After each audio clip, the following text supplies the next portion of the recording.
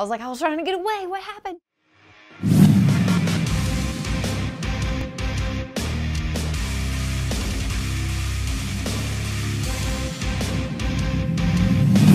After the 4th of July, where I first met Christine, we ended up hanging out a lot and we became really good friends really fast. And I don't remember exactly how it happened. Like we, I don't know, we just started hanging out. Like we went to movies a couple of times and then she would come over and just hang out. And I wanted to take Jack running, so I remember we would meet at the park down the street from her house, or I would meet her at her house, and then we would walk to the park down the street from her house. And yeah, we just became really good friends. We started doing a lot of stuff together. We would go out to eat together and complain about work. Alicia and I became roommates when I started thinking of moving out of my parents' house. And Alicia was coming up on the end of her leasing agreement with her current apartment setup.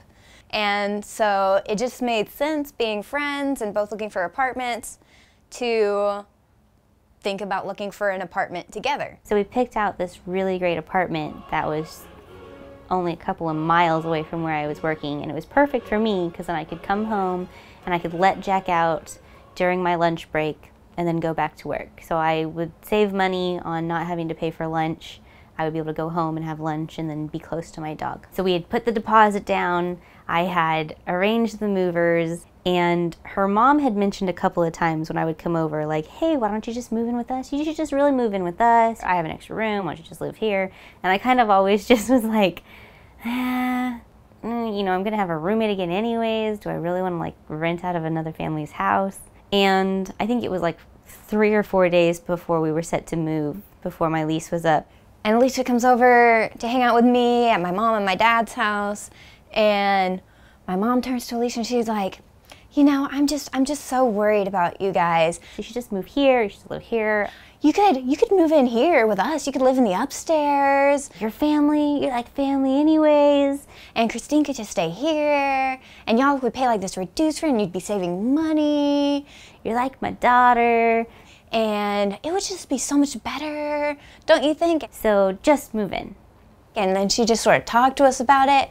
She sort of talked Alicia around, and then all of a sudden, Alicia's moving in with me instead of me moving out with her. And I'm like, what is that?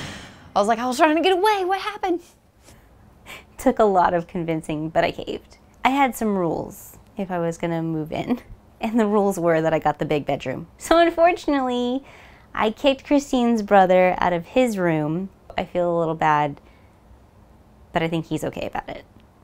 I don't think there's any hard feelings there. Are there hard feelings there? Okay.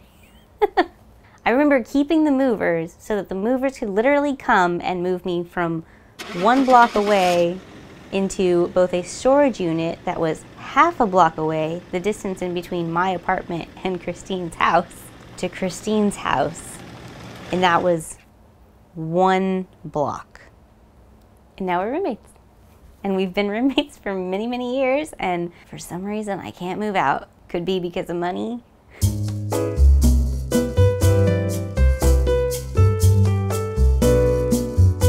Could be because her mom says that I can't leave unless I'm moving out of state or getting married.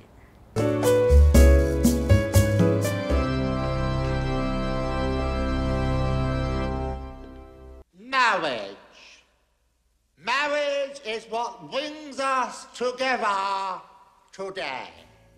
Or it could be just because I don't want to deal with moving. I hate moving.